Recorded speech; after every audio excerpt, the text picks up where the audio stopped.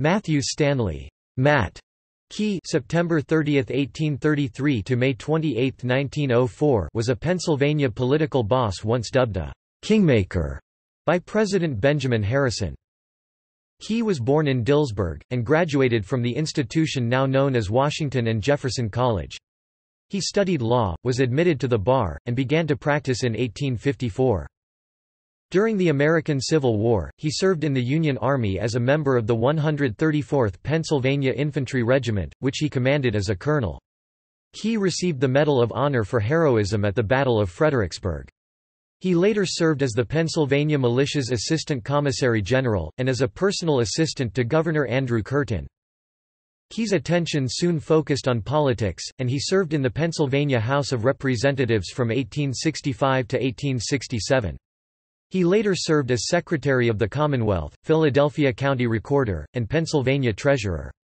Quay served in the United States Senate twice, the first time from 1887 to 1899, and the second from 1901 until his death in 1904.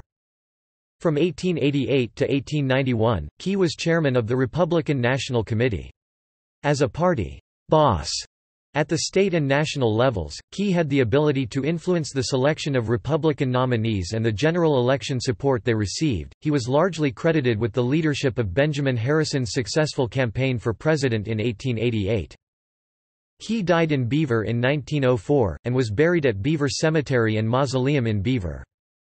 The Matthew S. Quay House in Beaver has been designated as a National Historic Landmark. In addition, another of his residences, the Roberts Quay House in Philadelphia, was added to the National Register of Historic Places in 1976.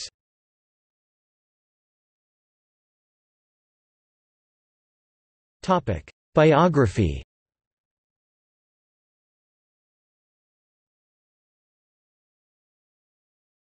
Topic: Early life. Quay was born in Dillsburg, Pennsylvania. After attending Beaver and Indiana academies, he graduated at Jefferson College now Washington and Jefferson College in 1850. Quay was admitted to the bar in 1854. Prior to the start of the Civil War, Quay won election to the Pennsylvania House of Representatives, representing Beaver County. At the start of the American Civil War, Quay was a colonel with 134th Pennsylvania Volunteers. He served in various capacities in the Civil War, including as Assistant Commissary General of Pennsylvania. Congress awarded him the Medal of Honor for gallantry at the Battle of Fredericksburg. Quay's conduct during the war earned him the attention of Pennsylvania Governor Andrew Curtin, who made Quay his personal aide tasked with answering the letters of soldiers. In 1864, Quay was elected to the Pennsylvania legislature, serving from 1865 to 1867. He was a companion of the Pennsylvania Commandery of the Military Order of the Loyal Legion of the United States.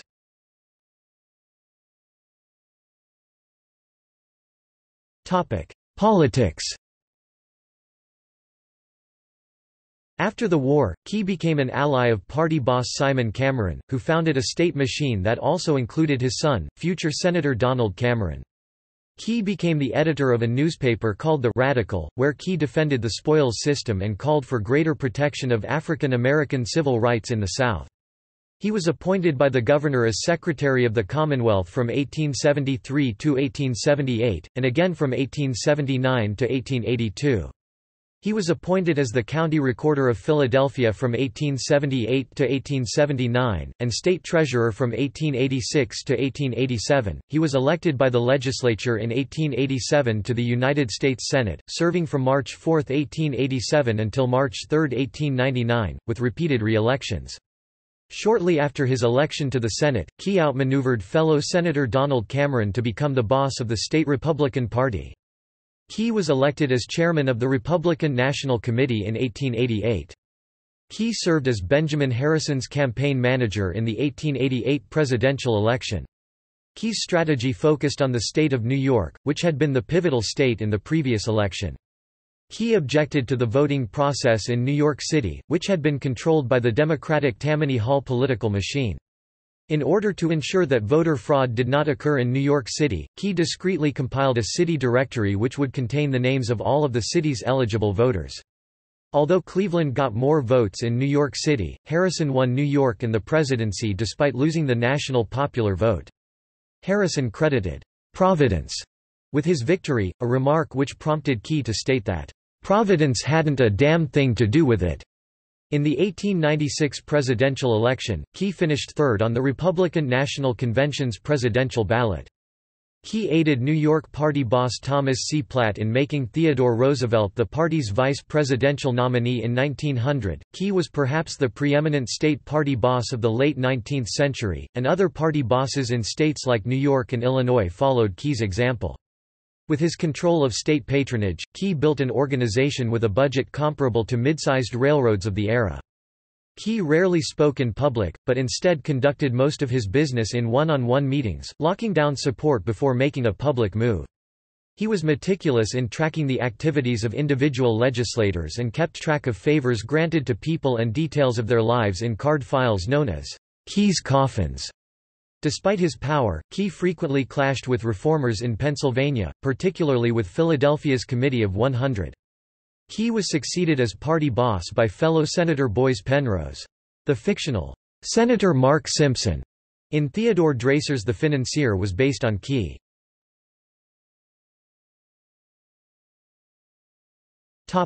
Senate seating controversy In 1898, Quay was brought to trial on a charge of misappropriating state funds. Although he was acquitted the following year, the feeling among the reform element in his own party was so opposed to him that the legislature became deadlocked over filling the Senate vacancy. As the legislature was unable to build consensus for anyone to be elected to the seat, Governor William Stone appointed Quay to fill the ensuing vacancy.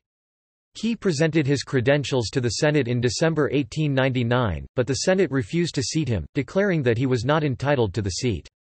Pennsylvania held a special election to fill the persistent vacancy, and Quay was re-elected to the seat. Quay would serve in the Senate until his death in 1904.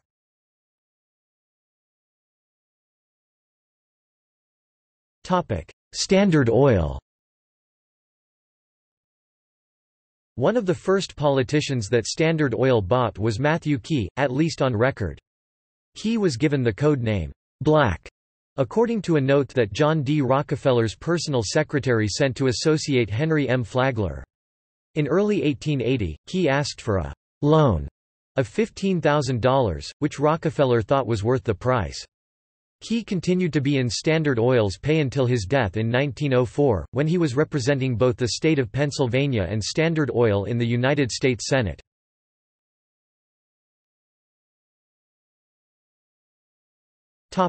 Family In 1855, Quay married Agnes Barclay (1831–1911). They were the parents of several children, of whom five lived to adulthood. Quay was interested in his family's history and genealogy. After discovering that two of his ancestors, John Quay and John Quay Jr., had married American Indians, Quay took an interest in Native Americans in the United States, and worked on their behalf in the Senate.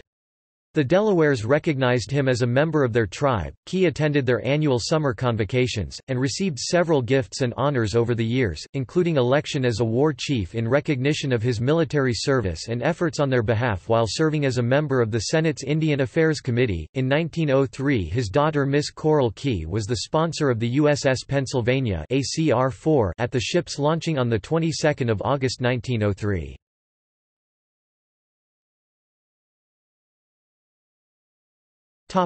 Timeline. 1833, born Dillsburg, York County, Pennsylvania, EDUC.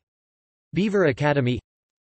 1850, he graduated at Jefferson College, then studied law under Judge Sterrett 1851–53, Mississippi.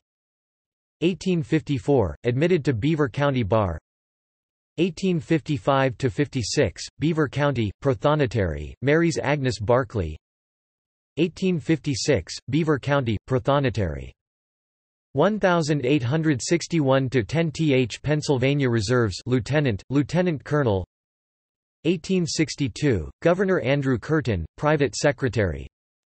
1862 to 134 th Pennsylvania Volunteer Infantry Colonel August 1862 leaves 134th Pennsylvania Regiment Volunteers health the 7th of December. 1862 Battle of Marye's Heights the 13th of December. 1864 elected to Pennsylvania state legislature. 1865 to 1867 Pennsylvania state legislature. 1869 founds Beaver Radical 1873–78, Pennsylvania State Secretary. 1878–79, City of Philadelphia, Recorder, resigned. 1879–82, Pennsylvania State Secretary. Named January, resigned October. 1886–87, Pennsylvania State Treasurer. 1887, entered United States Senate. 1888, Republican National Committee, Chairman 1892, re-elected, U.S. Senate 1898, not re-elected, term expires 1899. 1901, U.S. Senate 1904, death, buried in Beaver County, Pennsylvania.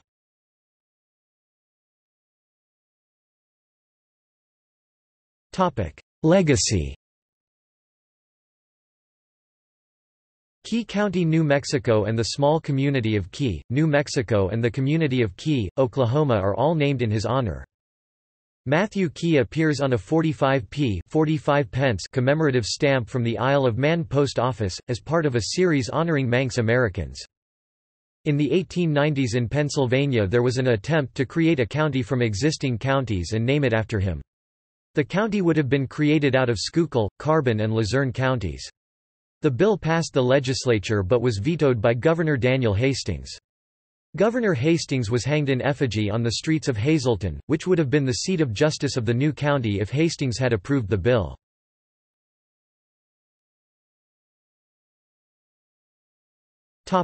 Medal of Honor citation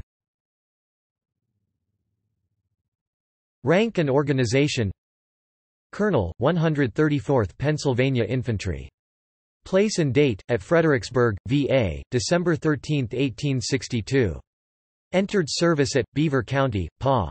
Born, September 30, 1833 Dillsburg, PA. Date of issue, July 9, 1888, citation. Although out of service, he voluntarily resumed duty on the eve of battle and took a conspicuous part in the charge on the Heights.